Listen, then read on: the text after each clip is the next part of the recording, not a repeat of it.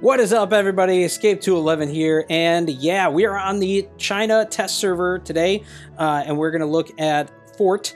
I do not have him um, on uh, on the China test server. You can actually get him, but uh, I have tried to play on the China server. Man, I only have a little bit on here, and it is insanely hard to get anywhere because there seems to be a lot more players and uh, even at low glory, you're already hitting crazy good players, as well as my ping is always over 200. It's insane to try and keep up with combat. And on this emulator, it definitely runs worse than on my device for me.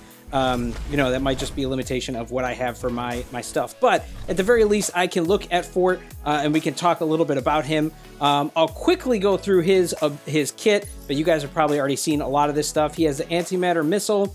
This shoots in bursts and it kind of shoots similar to Sindri's weapon, but then it feels like the sticky bombs of Christina, and you'll see what I mean when we get into it a little bit. Very interesting, pretty darn powerful, probably worth um, uh, not being auto aimed. If you think of Christina and all that kind of stuff, you don't want to auto aim her, so you don't want to auto aim this either. Antimatter barrier just puts up a barrier on the ground. You'll see what it looks like, uh, and it will stay up for a long time. It actually has lesser cooldown, like it says it'll stay up for 20 seconds. Uh, that's an insanely long time, um, but it will eventually go away. But your cooldown on this for replacing it is only like 8 seconds, so you can pretty much always have a shield up unless it gets taken down. Um, at max, you'll see it has more health, uh, you know, and kind of somewhere between Ruby shields versus Jabali shields, somewhere in between there. All right.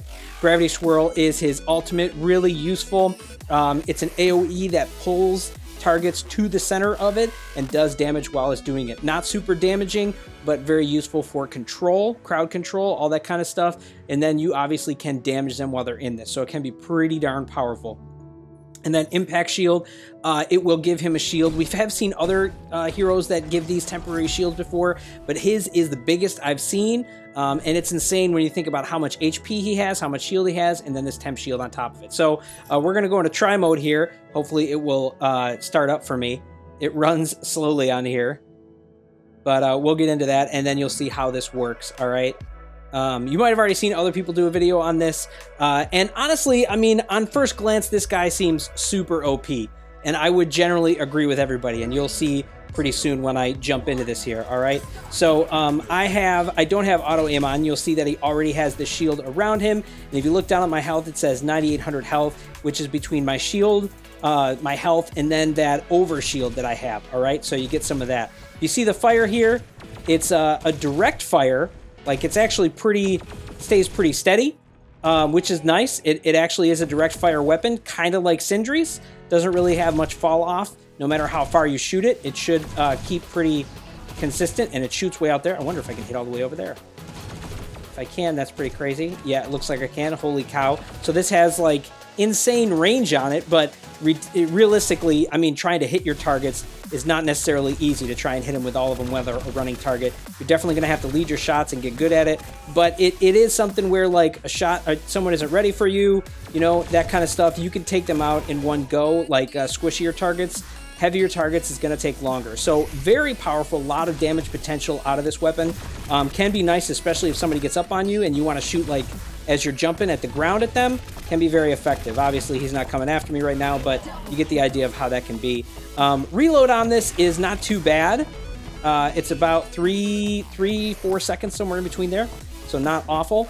Um, so yeah, you get the idea of it being like sticky bombs coupled with Sindri's uh, ability. It has 20 bullets, but it shoots in four bullet bursts. So it's kind of like you get five shots out of it before you have to reload. That's still a lot. Um, there is a little bit of a delay in between firing, so DPS wise, this probably isn't that insane. And because, like I said, when you're trying to hit moving targets, you're probably going to miss shots. It's not like you're going to be crushing things with this uh, basic weapon. So even though it seems really strong, you are going to have to play it well in leading your targets. I'm doing a terrible job of it because I, I, have not really practiced with this. Um, but like that idea of like you know, think of it like Sindri's weapon, I think is the, the best way of uh, viewing it. Um, nice though for shooting into doorways, shooting at the ground, that kind of stuff. For um, that, really nice for taking out invisible targets, especially like a Johnny Jet, where you can shoot a lot, like kind of spray it around in his little uh, circle thing and do some damage. So it can seem like a really strong base weapon, but if you compare it to like Sindri's, hers in application is not as great. All right. So uh, first we'll look at his um, main ability here. He drops a uh, shield and there's a lot of places you can place it. As you can see, it was on the ground. And like I said, this thing, um, now at this stage, it is 84,000. This is a level 10.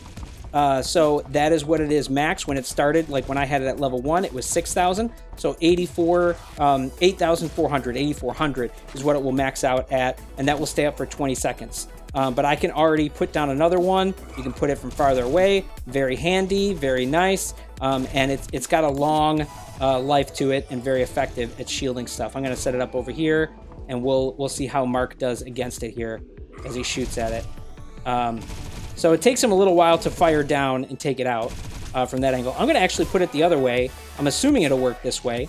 Um, I haven't tried it this way, but because it's curved toward me, but I assume it'll work the same way. Yeah, it does. It's just curved the opposite way. I mean, that's that. I would think it would work that way. So, I mean, with with some uh, heavy DPS on it, it's going to go down. But I mean, even Mark, who's a, very good at DPS, especially close up, takes a little while for him to fire it down um, when he's firing in bursts like that. So not too bad. Um, I calculated it when it's maxed out versus a Jabali shield. It is um, it, Jabali shield is 2.5 times stronger than this shield is. All right, so this shield is not as strong nearly as Jabali shield, but still pretty comparable. Uh, Ruby shield, I think at max is 4,200, so it's like twice her shield, and then um, you know uh, a third roughly of Jabali shield. Um, so it's not bad, but here's the other thing you want to think about with the shield. It is a stationary shield. Now this can be good for like maybe control or uh, crystal assault, but think about the other common modes. When you're running around with your team, um, you know, you might want to put this up for like your sniper or your long range fire or your DPS that's just like an assault DPS, all right? Um, it's not something you can easily bring around with you. If you're playing payload, um, uh, escort or something like that, this is not going to be as good as like you know having Jabali or Ruby Shield in the sense that it's not going to travel with you or with the payload in the same way. So there's pluses and minuses to that. I mean, you're you're losing some mobility for the idea of what the shield is for uh, just the level of raw you know potential or power that it has. So I think you know it's kind of middle of the road, even though people make it seem like it's super super good. It is, but remember it's a stationary shield, so that's going to have certain application that other shields uh, will or won't. You know, pluses and minuses there. Okay, and then of course the ultimate, um, the gravity, I, I, like to call it like a gravity bomb. You can place that, you got a lot of range on that to place, and then when you place it down, it will pull in targets that are next to it, um, and it will do the AoE damage slowly over time that are in there. While they're in there, I didn't even do it that time, you can shoot them, which is pretty nice.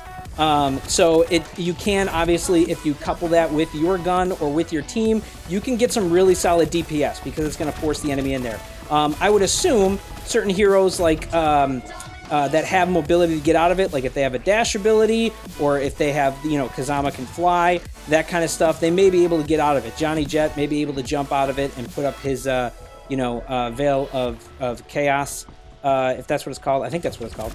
Um, so, like, you know, you'll you'll have potential to deal with that kind of damage. Um, so, you know, there's there's ways of getting around that. I think uh, to get out of those kind of situations if you're a faster hero. But I do think there's a lot of damage potential there. Um, you have to think of it similar to Ruby, just because it takes a long time to charge. As you can see, I've been talking here, it's taken all this time to charge. So it is a longer ultimate to charge. It's not quite as long as Ruby's, but it's still going to take a while to reload that, all right? So I just got it back here, and you can see that it, it took a minute for it to go. And then this time I'm going to shoot at the guys while they're in there and do some added damage to them. And, and you can see they're much closer to death. And as tanks, these guys are harder to tank down, or take down. Um, but yeah, I mean, you get an idea of how all that works. He also has his passive, which is this overshield that he gets. Um, you know, it's it makes him pretty tanky, pretty insane to take down. If I if I take some shots here from Mark, uh, and then I stay out for just five seconds, my regular shield will start coming back, and then this shield will come back pretty quickly. Um, so just add some extra tankiness. A lot of other heroes have little shields like this that you see. Uh, but his is insane. So, you know, he doesn't regen um, like health like any hero does, but he has a big shield that regens and then that temporary shield that comes back really fast. So, even when you lose quote unquote half of your health, you really are just losing your shield. So, there's a lot of potential to get in the fray, get in matches, do some damage, and then pull back and wait like, you know, five, five to six seconds to get most of that back. So, it's pretty incredible um, the level of tankiness that this guy has and pretty much regenerative tankiness out of all that. Um, do I think this guy is OP? A lot of people are asking that kind of question. Fair question. I think he's going to be very, very strong.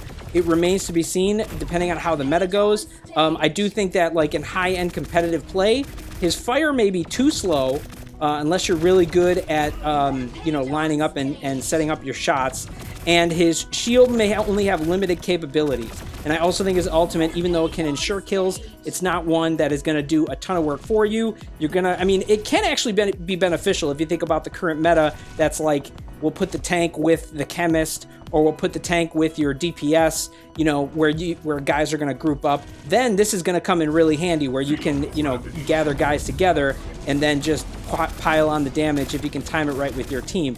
But I do think that, you know, those kind of situations may be situational and few and far between. So it really depends on um, how that plays out in the meta for him to really start to shine. Um, I think his kit is there. I think the potential is there. Uh, I just don't know if I would call him OP yet, like some people are probably thinking. Um, you know, just by looking at his kit on its own in this kind of environment, I think you really need to see it in play. So uh, yeah, that's that's overall what I think of this guy. You guys can let me know what you think about him, and uh, you know we'll see you out there on the battlefield.